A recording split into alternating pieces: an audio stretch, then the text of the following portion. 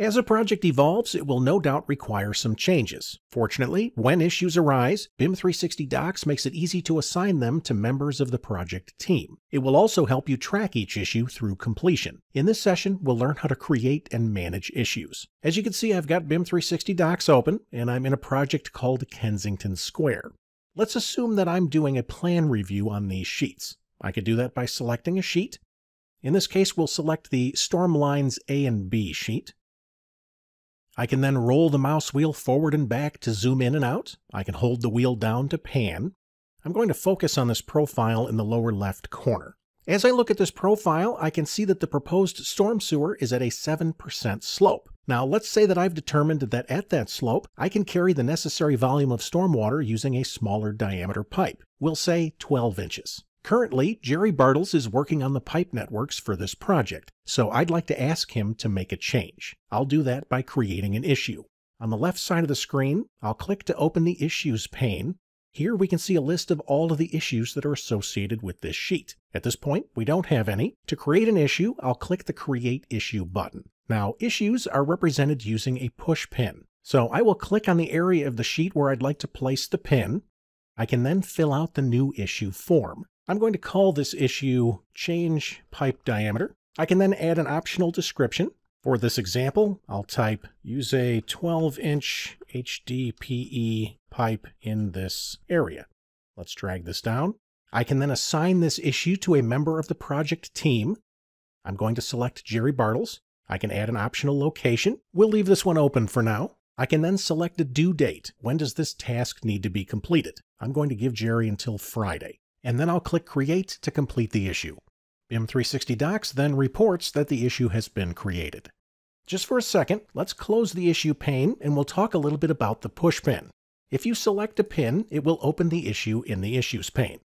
I'm going to click this arrow to close the issue, and then we'll pan the drawing over. If you select the issue in the pane, it will take you to that push pin on the sheet. Let's click the X to close this pane.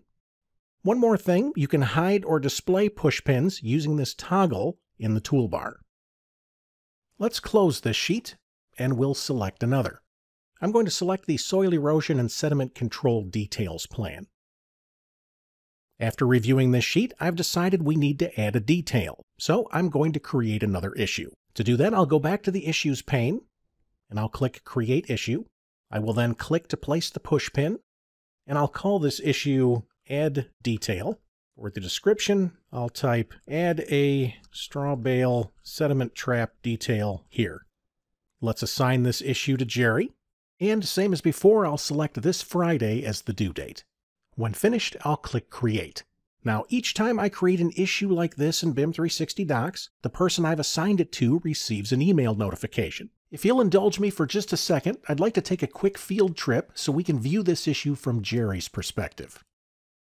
Here we can see the email Jerry received for the issue I just created. Clicking the blue button will take him right to the Kensington Square project where he can review the issue. Note that the issue also includes a hyperlink that will take him right to the sheet where the issue was created. From here, Jerry can answer the issue by selecting Answered from the menu at the top of the Issues pane. He can then type in a response and click Done. When Jerry answers the issue, it is automatically assigned back to me for my review. In addition, I will also receive an email notification.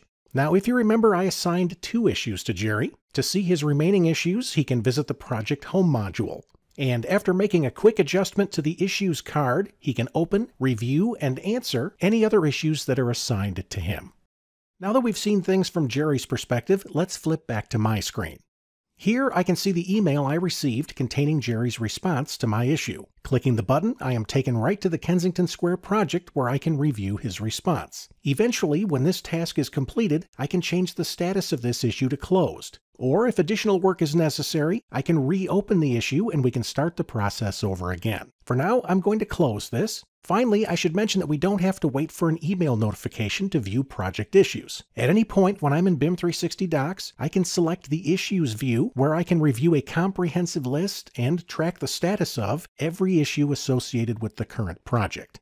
As your projects and designs evolve, they will no doubt require changes. Fortunately, BIM 360 Docs makes it easy to assign those changes to the appropriate members of the project team. It will also ensure that no work item goes unfinished by tracking each issue through completion. Would you like to explore additional Autodesk Cloud collaborative ideas and workflows? If so, please visit the AEC Connection blog by scanning the QR code or by following the URL listed below.